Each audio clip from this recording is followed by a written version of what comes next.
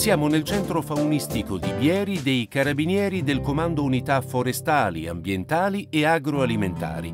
Qui vengono allevate e riprodotte le starne italiche che una volta reintrodotte in natura vengono rilasciate per ripopolare il territorio del Mezzano. Nella riproduzione uno dei maggiori problemi che i ricercatori hanno dovuto affrontare è stato quello relativo alla consanguineità. Le starne italiche rinvenute dagli esperti in un allevamento nel Modenese erano infatti in numero assai esiguo. Il paniere base di riproduttori, in altre parole, era molto limitato e presentava ridotta variabilità genetica, una caratteristica che avrebbe potuto influire sulla loro capacità di sopravvivere in natura. Gli esperti hanno quindi deciso di contrastare un'ulteriore riduzione della variabilità limitando gli accoppiamenti fra consanguinei e selezionando coppie assortite dopo averne studiato alcune componenti genetiche. Un procedimento complesso che proviamo a spiegare. Lo studio di esemplari museali ha permesso di identificare nelle popolazioni storiche sia varianti genetiche esclusive delle popolazioni italiche che altre condivise invece con le popolazioni europee. Dal momento che i geni cui fanno riferimento queste varianti si ereditano solo per via materna, si è deciso di creare 600 coppie formate da femmine caratterizzate dalle varianti italiche e da maschi che presentavano la variante europea condivisa. Ulteriori 100 coppie sono state formate scegliendo la composizione opposta. In definitiva, questa modalità di tenere in allevamento differenti linee genetiche permette di limitare la consanguineità, mantenendo una buona variabilità del patrimonio ereditario nelle starne che verranno alla luce. Ci siamo spostati ora nella zona delle incubatrici. All'interno di questo locale noi troviamo una stanza di stoccaggio dove vengono poste tutte le uova raccolte all'interno della settimana. Allora, queste sono le uova che vengono raccolte dai riproduttori. Una volta portate nel locale incubatoio vengono sistemate negli appositi portauova e vengono divise in tre portauova diversi perché una parte di queste uova sono numerate. Questo perché eh, abbiamo delle coppie che sono diverse a livello di genotipo e quindi per avere un campione, raccogliere i dati eh, su questo campione noi abbiamo deciso di prendere 100 coppie in cui la femmina ha aplotipo P2, P10 e 100 coppie in cui la femmina ha aplotipo Man Western. Le uova di queste 200 coppie vengono numerate lungo tutta la, la stagione della, della, riproduzione. In questo modo non solo riusciamo a valutare la produzione delle uova per ogni gabbia, ma per le 200 coppie campione riusciamo a, ad avere tutta la storia dell'uovo, quindi a calcolare la percentuale di fecondità, la percentuale di mortalità durante l'incubazione e poi la percentuale di schiusa. A questo punto le uova vengono messe nella camera di stoccaggio che è questa, è una camera in cui la temperatura e l'umidità sono controllate e Le uova me vengono messe nel portauova in questi ripiani in cui è presente il meccanismo di volta uova. Quindi questi ripiani si muovono a destra e a sinistra una volta ogni 45 minuti per permettere una migliore vitalità dell'embrione, una migliore schiudibilità poiché non permettono alle membrane testacee che sono all'interno dell'uovo di incollarsi l'una con l'altra. A fianco alla stanza di stoccaggio troviamo invece l'incubatrice. L'incubatrice può raccogliere fino a 12.000 uova. All'interno dell'incubatrice le uova rimarranno circa 21 giorni. L'incubatrice è dotata di un sistema d'allarme sia per l'umidità che per la temperatura. Quindi in caso che si abbassi troppo la temperatura suona oppure che si alzi troppo la temperatura parte il sistema d'allarme. Siamo collegati a un sistema d'allarme tramite telefonino e veniamo avvertiti. Ispezioniamo la macchina, quindi andiamo a togliere il sistema d'allarme.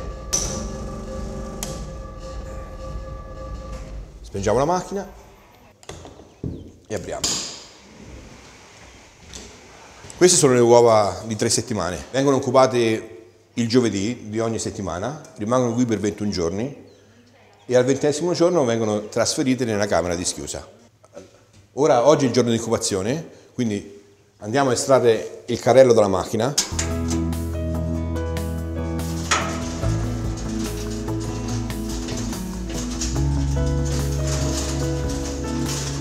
A questo punto le uova vengono tolte dalla camera di stoccaggio e sistemate nell'incubatrice vera e propria. In questa grande e sofisticata macchina per la cova artificiale sono state incubate circa 10.000 uova il primo anno di progetto, 16.000 il secondo e 23.000 la scorsa stagione, per un totale di circa 50.000 uova di starna italica. Allora, sopra l'uovo segniamo la data in cui questi cassetti andranno schiusa. Oggi 7 maggio, 21 giorni, quindi il 28 maggio questi cassetti vanno nella camera di schiusa.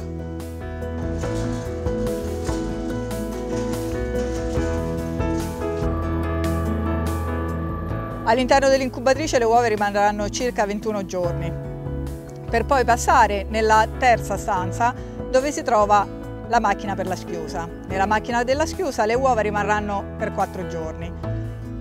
Siamo al 25 giorno dall'inizio dell'incubazione e questa è la camera di schiusa, i pulcini si sentono pigolare e adesso la apriamo e estraiamo i pulcini.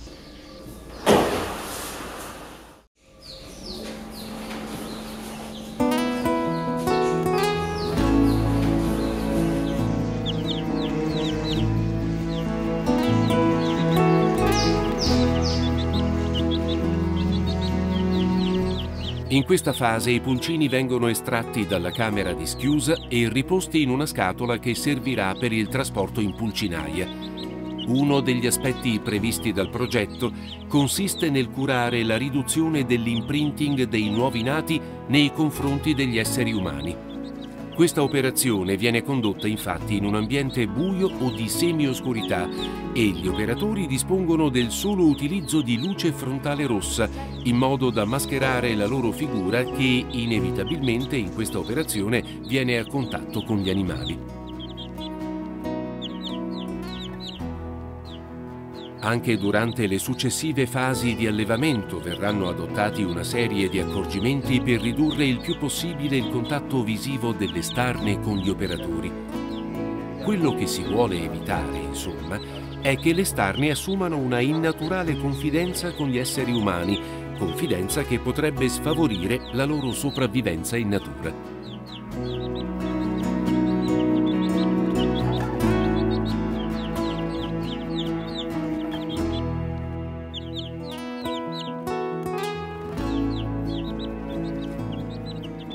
In questi primi tre anni di progetto sono nate, grazie a questi innovativi sistemi di cova artificiale, oltre 33.000 starne italiche,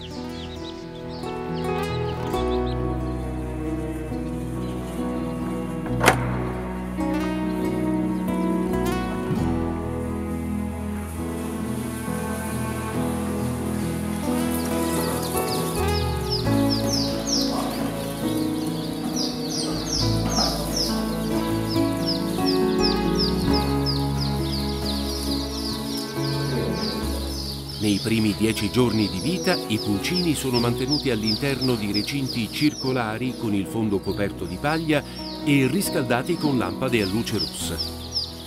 All'undicesimo giorno di vita dei pulcini le protezioni circolari vengono tolte e i pulcini sono liberi di occupare tutto lo spazio della pulcinaia.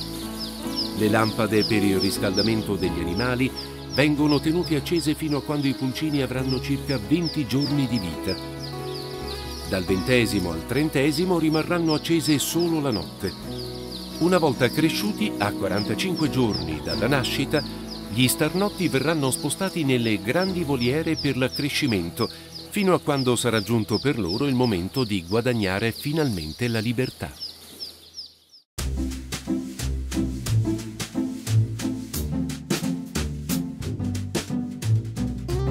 Nella prossima puntata andremo nella valle del Mezzano per seguire come le starne vengono accolte e preparate per il loro ritorno in natura.